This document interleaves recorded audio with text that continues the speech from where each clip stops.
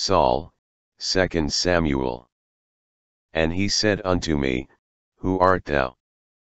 He said unto me again, Stand, I pray thee, upon me, and slay me, for anguish is come upon me, because my life is yet whole in me.